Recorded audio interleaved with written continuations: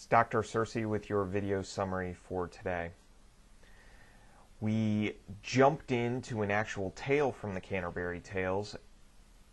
Today we talked about the Miller's prologue and tale. Now I pointed out how structurally the entire Canterbury Tales balances natural and supernatural concerns. And this is reflected particularly in the Miller's tale where his very bawdy sexually explicit tale comes right after a metaphysically concerned, highfalutin, genteel, poetic tale by the Knight that examines love.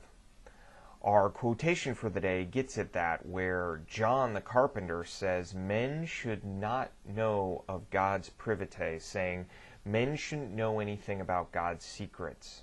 This is what he says about the scholar Nicholas, who lives in his house and, unbeknownst to him, is sleeping with his wife.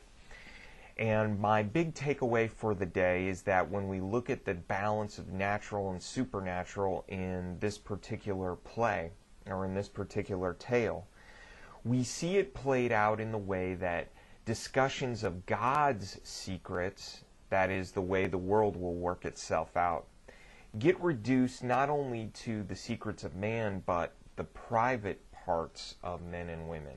So we have not only a degradation of God's secrets to man's secrets, knowledge of the divine to knowledge of man, but also a eternal truth reduced to a physical material substance.